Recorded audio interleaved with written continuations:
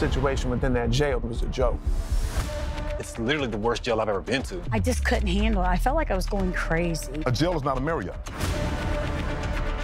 Carlos, do you think you did anything wrong? I was making the moves. You, you wanted the results. Hey, I had to do what I had to do to get the results.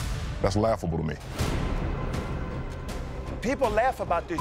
I'm not having a We're here we're having a good time. I think you're here to show out. I ain't show. showing I can show on the street. I'm Okay. on 87. I ain't got Okay.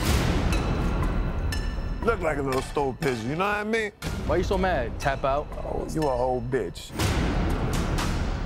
Hold on. You the I'm talking. that's a- I'm pay gonna attention. expose him, too. Pay attention. Pay attention when I'm Shut talking. Pay attention to to when like I'm that. talking. You're not built like that. You're not built like that. You're not built like that, homie. The 60 Days In two-hour reunion special Thursday at 9, only on A&E.